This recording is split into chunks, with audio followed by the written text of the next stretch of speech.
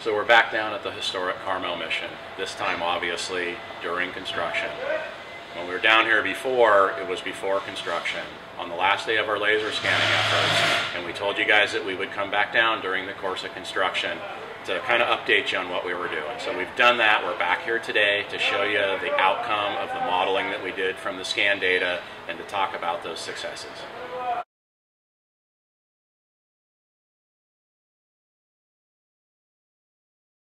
There are several reasons that the laser scanning was helpful uh, for the detailing of the wide flange beams above the catenary arch.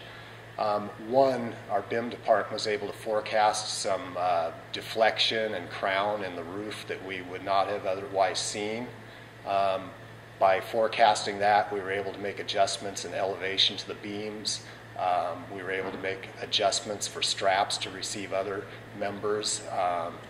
And it was just, uh, we were also able to fabricate those wide flange beams before any roof members were taken apart or any of the demolition was done. And it was a huge time savings for us in the field.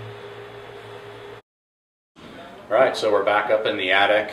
We just finished talking to Mike Harney. Um, was telling you about all these members for the for the trusses. This was all completely detailed, um, you know, modeled from the scan data including these, uh, including the plates. No two of these plates are the same because the, the angles on the trusses are all different.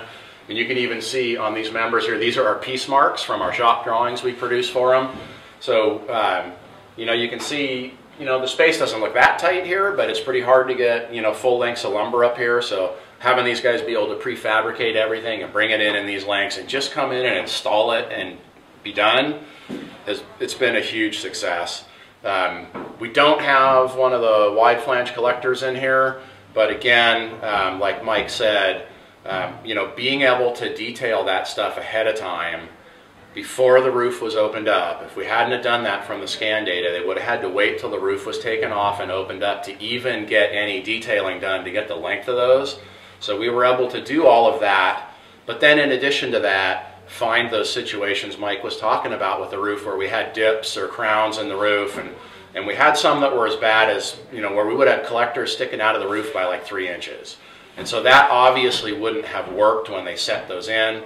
So that would have really brought things to a halt and you'd have to get the structural engineer involved. And so to find that stuff all ahead of time and have all those collectors dialed so that they went in and set and fit the first time around it's just significant value in that.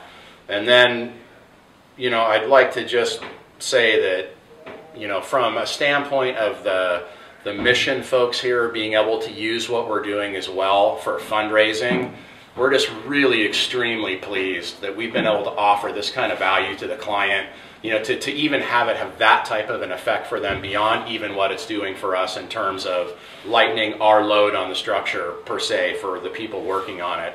So, uh, you know, you're going to see more videos from us. We're going to be talking about new ways to use our technology. Uh, maybe not on this job, but for sure on other projects. We're always looking for new ways to apply our technology.